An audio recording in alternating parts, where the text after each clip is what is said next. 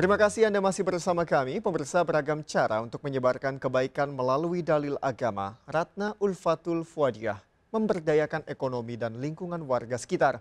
Wanita asal Purworejo, Jawa Tengah tersebut berupaya menghapus jerat lintah darat melalui infak produktif. Dan berikut kisah lengkapnya dalam program spesial Ramadan, Jalan Penyeru Kebaikan.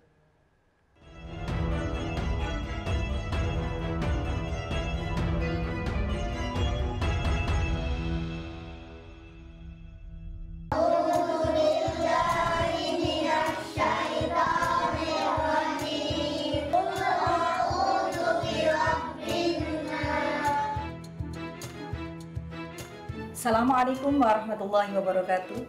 Saya Ratna Ulfatul Fuadiyah STHI, Majelis Taklim Al-Quranul Iman, binaan kami berawal dari kegiatan pengajian rumahan yang mengajarkan Al-Quran, fikih, dan yang lainnya berkembang menjadi kegiatan pembelajaran tentang kehidupan dan lingkungan.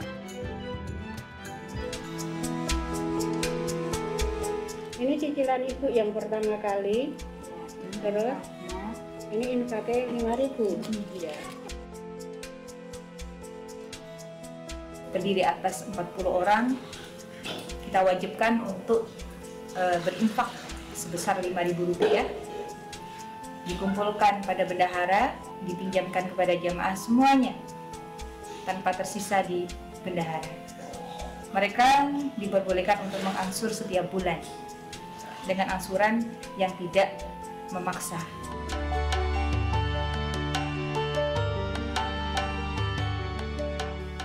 Kegiatan lingkungan yang lainnya yaitu One Day One Garbage, di mana eh, jamaah dan santri yang mengaji setiap mereka berangkat untuk kegiatan di Majelis Taklim Al-Quran Iman, mereka harus membawa sampah dikumpulkan dan setiap akhir bulan kita lakukan pemilahan-pemilahan Selain kegiatan itu, ada kegiatan lingkungan, yaitu bertanam tanaman organik, sayur-sayuran yang dilakukan oleh para remaja.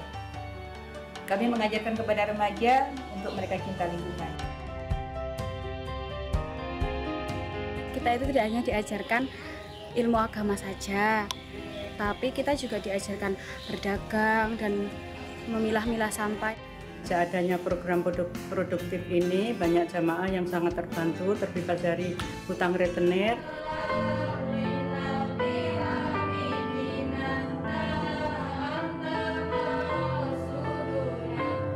Dakwah adalah mengajak, baik mengajak pada diri sendiri, mengajak kepada masyarakat, mengajak kepada keluarga untuk berbuat baik. Jadi dakwah itu tidak hanya berbicara, berceramah, tapi juga harus melakukan sesuatu yang real,